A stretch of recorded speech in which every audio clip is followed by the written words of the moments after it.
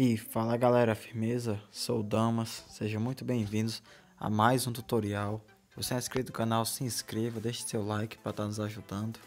E pessoal, hoje trazendo aqui uma dica de Facebook, que é como você tá excluindo a página do Facebook. Caso você tenha uma página e queira apagar, vou ensinar o passo a passo para vocês.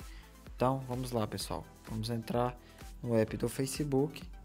Você espera carregar a página inicial e você vá nos três tracinhos abaixo do ícone das mensagens. Selecionou aí e vai aparecer aí o seu perfil e vai aparecer a sua página. No caso, vou selecionar aqui a, a página que eu sou dono. Obviamente, dá para apagar a página que for sua. Selecionei a página e eu já vou aqui nos três pontinhos aqui na opção mais canto superior direito. Seleciono. Vai abrir aqui essas opções. E eu vou selecionar a opção editar página. Aqui na, na guia do menu controles da página. Selecionei. Aparecem as opções. E eu vou selecionar aqui pessoal configurações a última opção. Selecionei ele vai carregar aqui esse menu e você vai selecionar a primeira opção, geral. Selecione, espere aí carregar e você vai procurar por esse menu aqui, remover página. Aí tem a opção excluir, quer excluir, aí tem o nome da página, você seleciona.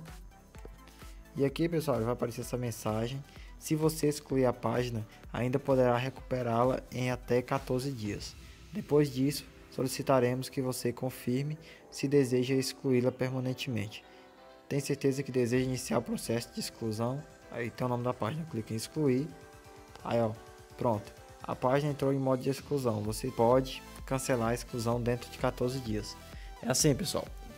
Decorridos 14 dias, eu vou ter que voltar, repetir o processo e vai ter a opção lá excluir permanentemente a página. E pessoal, passando 14 dias, eu posso ir na opção que é recuperar a página novamente, caso eu não queira excluir. Bom, você tem que aguardar os 14 dias e você repete o processo e exclui sua página permanentemente. Bom, essa era a dica que eu tinha para vocês. Inscreve aí no canal, deixa o like e falou.